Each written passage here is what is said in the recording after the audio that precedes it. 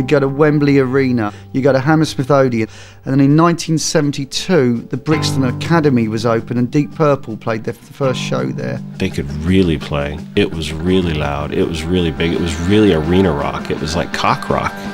It was the real deal. Deep Purple were officially the loudest band in the world. That sort of thing mattered then. Being the loudest was really important.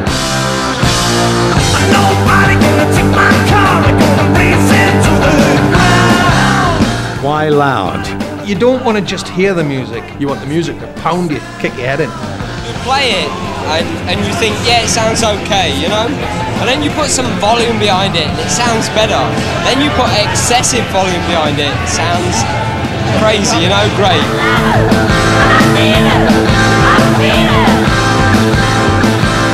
You never really felt as if you'd had a good night out unless you came back and your eardrums were bleeding. I remember sticking my head in the speakers at a Judas Priest concert. I should, I should just leave it in there and relax. up, up, up, just a touch. Rock and roll's supposed to be powerful and noisy. That's the point of it. Just another two or three notches. It's supposed to piss your parents off. Can go up a little bit higher, can't it? I know. If it doesn't do that, then they're the wrong parents. You turned it up, it got on their tits really quickly. Okay, we'll try it there.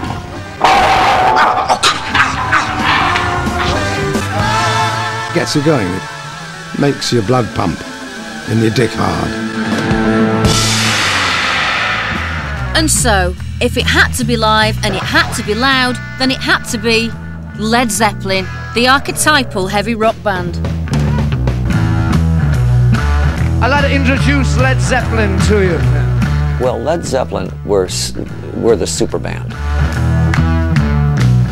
You had Robert Plant. You had Jimmy Page. You had this drummer that was just devastating. They have the powers of frontman, the ultra cool lead guitar player, you know, the, the heavy nutcase drummer. They are all the cliches. But they were the reality. Originally, they were the reality. They never released a single, they seldom gave interviews, and they rarely appeared on television. But Led Zeppelin were the colossi of hard rock. Part Viking warriors, part psychedelic minstrels, part small armoured infantry division, Led Zeppelin were the ultimate rock and roll band. You never saw Led Zeppelin on top of the pops. They just had the theme tune to the show. You need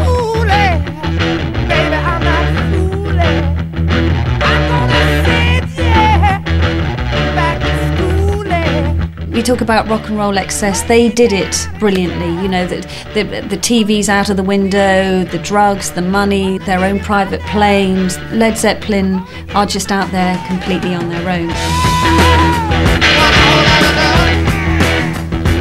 I used to love the idea that these guys, I mean, you'd see Led Zeppelin, you just know, I mean, Robert Plant's just a guy from Birmingham, isn't he? There he is, getting onto a BAC 111, a private thing, and you know it's only got 16 seats. And there was that sort of, what are they doing in that plane? I mean, they're not sitting there watching a movie, are they? They're just not. They did the sex, they did the drugs, they did the whole nine yards, and they did it spectacularly well.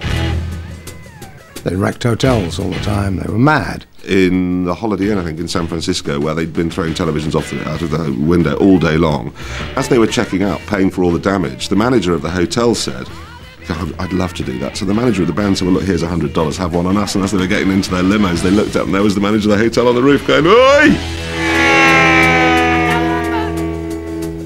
Nobody ever told them to do that. They just decided because they had more money than God that they could. And this just seemed wonderful to me. Well, ever since I heard the first Led Zeppelin album, I thought them to be really the world's premier rock band. A Whole Lotta Love, Ramble On, and particularly Stairway to Heaven.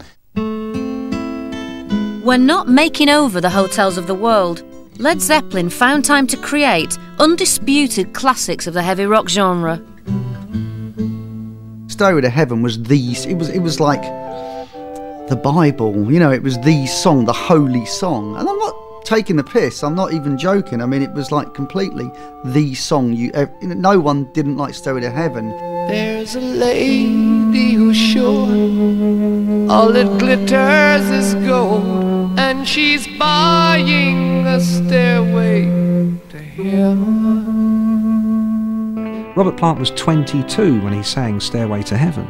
Page was 26 when he made it. You know, John Bon Jovi could live to be 90. He'll never write Stairway to Heaven. One of the keys to Stairway to Heaven and a lot of Led Zeppelin records was they had a lot of transitions. They start off melodic, then they would get really hard, then they come out of that and they transcend through a lot of different changes. The most amazing thing about Stairway to Heaven is trying to guess when the drums come in. And you never ever know when it is.